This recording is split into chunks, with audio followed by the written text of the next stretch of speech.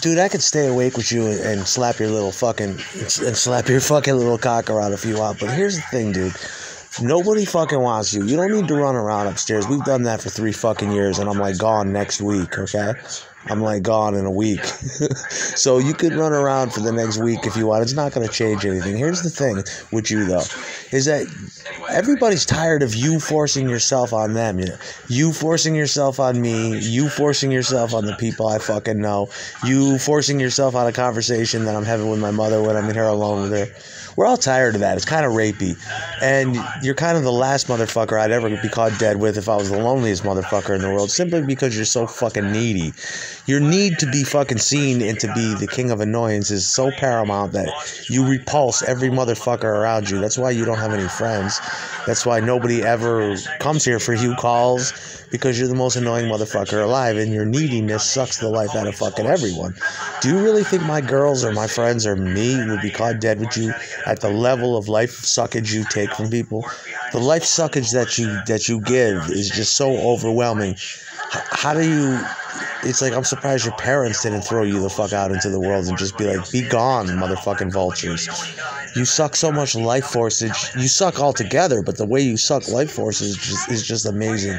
It's like, I don't want to know you. The people I'm knowing don't want to know you, obviously. We can all see it from afar. We don't want to get too close to it. I'm like 10 feet away. You don't need to run around with the fucking dog. We know you're a fucking baby. We know you're terrified of the police, and I'll call them again until you get it fucking right. I'm not your friend. Go play with your fucking retarded drums in the back, your one kick drum, and go make a kick drum beat and make sure you do it all fucking night. And make sure it sucks mad shit. Okay, make sure you go on the web and tell everybody you're related to popular people that you're really not, and, and because you ain't got a musical bone in your body or a rhythmic bone. I've seen your gay dances and I seen and I hear your gay beats and it's ridiculous, dude. There's more to drums than a kick drum. So why don't you go do that? Why don't you concentrate on that? Becoming the best you could be, not sucking the life force out of everyone else. I'm trying to watch, trying to listen to my Helter Skelter book. I've already had a action-packed, assful fucking day with you.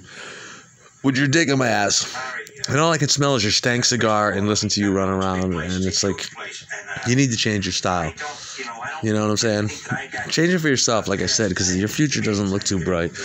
Who the fuck's gonna want to hang around with a, a motherfucker who never leaves the house, burning those nasty ass cigars, making all kinds of fucking noise well into the morning? not even a joyful noise, just total straight up noise.